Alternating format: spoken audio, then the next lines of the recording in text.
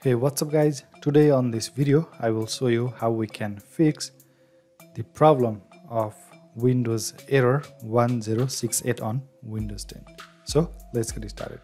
First of all click on your start menu here and type cmd and here click on run as administrator. Click on this.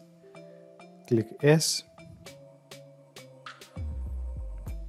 now here type command ipconfig space slash flush dns and press enter. Now after that you can close.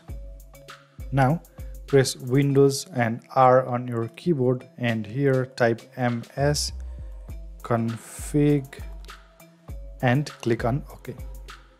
Now here on startup selection select this option normal startup and click on